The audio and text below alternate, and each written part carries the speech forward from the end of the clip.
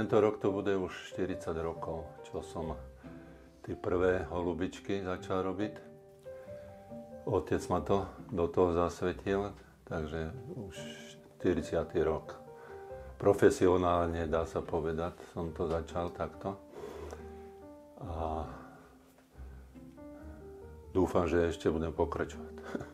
Takéto dosky borovicovej si pripravíme polotovar. Sme si to odrezali na určitú dĺžku, ktorú potrebujeme.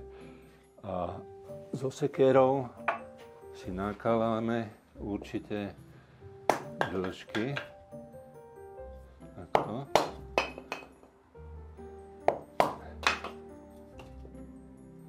Je to, je to kolné.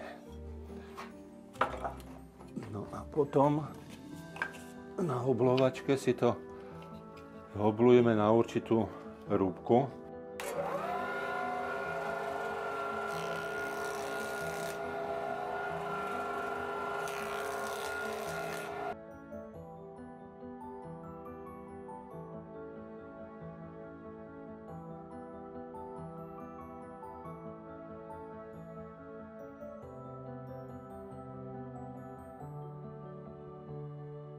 No tak inšpiroval ma otec s mamou.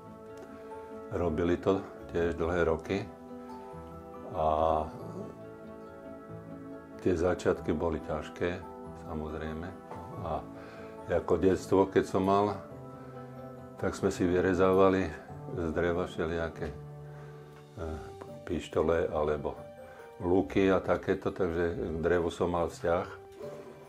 No a potom to išlo už po tej základnej vojenskej službe. Som sa tému začal venovať naplno.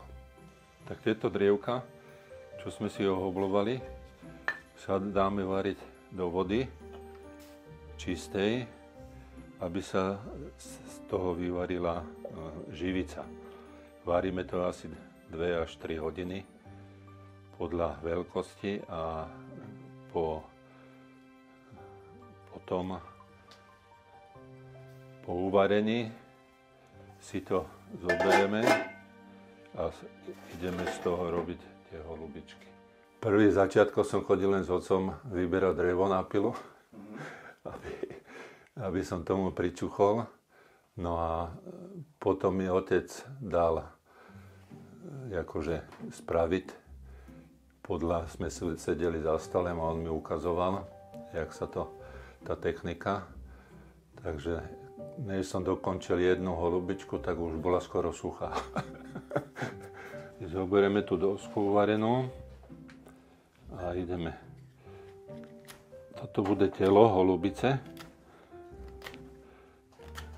Polovičku budú tie pierka a polovičku bude telo.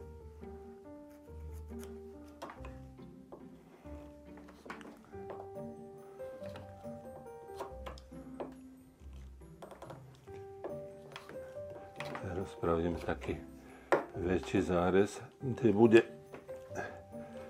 tému sa hovorí, že zámok, kde sa budú tie pierka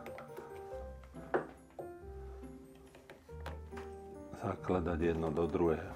V prvom rade musí byť drevo, výber dreva, je to borovica a jedla, z ktorého to robíme. No a špecifické to musí byť to drevo kolné, lebo ten názov, že štiepané drevo, sa to prakticky s tým nožikom štiepe. No, teraz pristúpime k tomu štiepaniu. Začíname. Musí byť ostrý nožik.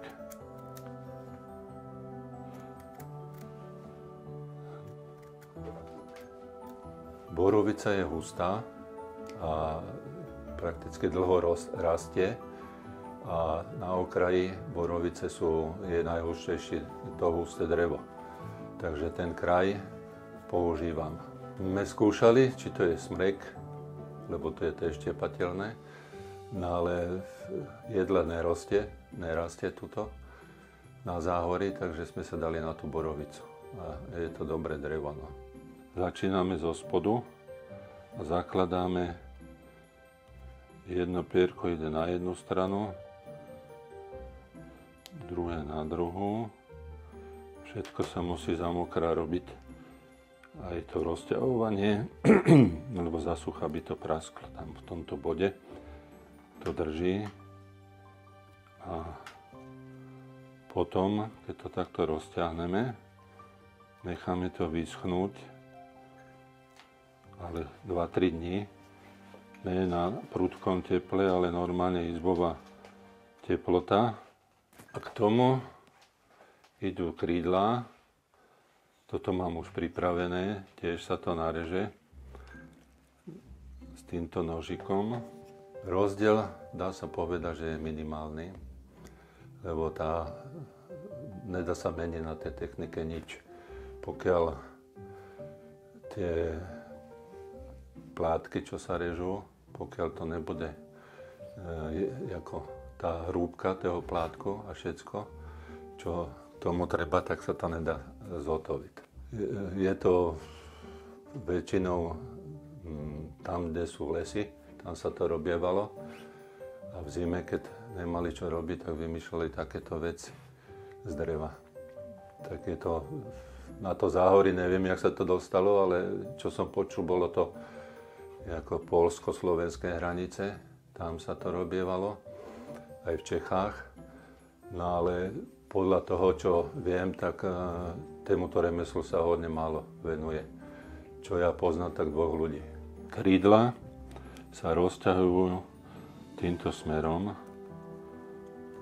Není to jak na tom chvoste, že jedno na jednu stranu, druhé na druhú, ale postupne zakladáme No s bavlnkou to potom takto povyšívame. Povyšívam, aby sa nám to, keď to uschne, tak sa, má to tendenciu sa rozťahovať. Tak bavlnkou to potom takto prešijem. No, skúšali sme to s týma mladýma, no ale treba tam veľmi ostré nože také používať. Takže tí mladí som im spravil len taký polotovar a oni to už tak dokončovali, lebo s týma nožama je to strašne nebezpečné. Už som to zažil sám, že keď vyletí ten nož, tak je to našitie. No a v každom veku sa to nedá začať, lebo tam potrebujete silu, potrebujete tam e, tú šikovnosť a presnosť. Takže dá sa povedať, že od takých 15 rokov by sa to dalo. Môžeme to nechať takto vyschnúť. Keď to vyschne, tak sa zareže takýto zárez. Toto je ona. Tu nás sa potom vložia tie krídla.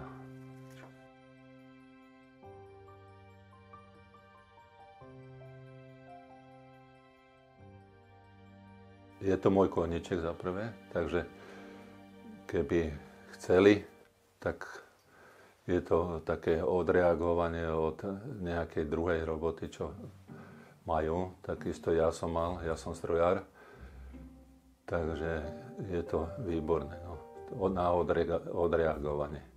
No a čo sa týka, že ľudia majú o to záujem, tak e, väčšinou to obdivujú, lebo není to všade vidieť. Tak to som rád, že, že sa to páči ľuďom. Je to precízna robota, lebo tu no, keď sa mi zlomí niečo na tej korunke, už to potom môžem vyhodiť preč.